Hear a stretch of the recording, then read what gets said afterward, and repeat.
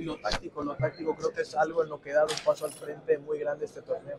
Diego, ¿crees que tienes algo que demostrarle a la gente de la América que al final pues te deja ir, ¿no? Y hoy regresas a otra final con Tigres, ya fuiste campeón. ¿Crees que hay que demostrarle algo a la gente de la América o no lo ves?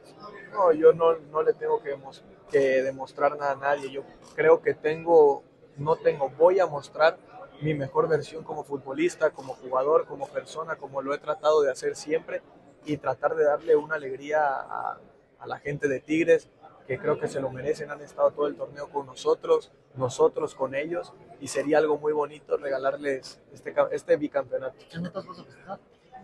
Yo lo dije hace rato, nunca planeo nada, la verdad no soy de esos que hay unos que festejan que el bailecito, que correr o que cómo van a hacer. Yo siempre digo lo que me salga en ese momento, pero es una final, obviamente. Yo creo que lo, lo, lo lógico es que festejes con tu equipo, con tu gente, eh, un gol, obviamente, lo que, lo que te digo.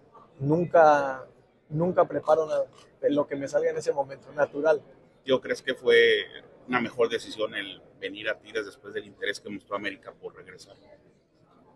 Eh, yo la verdad, yo la verdad estoy feliz en Tigres. Eh, creo que la decisión que tuve de venir acá fue la, la correcta. Eh, me siento bien. Hoy en día veo todo. Son tres títulos en, en este año. Podemos ir por un cuarto. Estoy donde quiero estar. Estoy feliz de estar en Tigres y para mí fue la decisión correcta.